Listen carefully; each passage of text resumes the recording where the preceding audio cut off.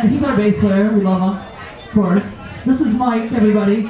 He does sound, he plays bass, he sings, and he has this little new toy kick thing.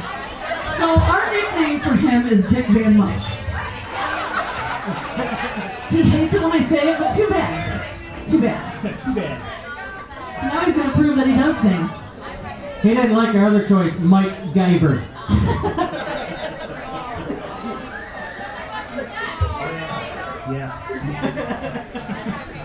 a new one on me. Ever haven't that. You're picking up that one, have you?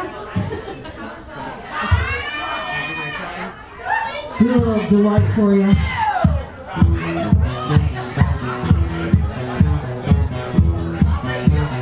It's for you, Lance.